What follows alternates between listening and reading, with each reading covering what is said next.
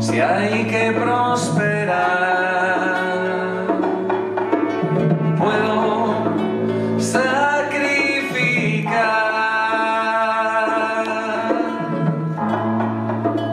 en tu altar.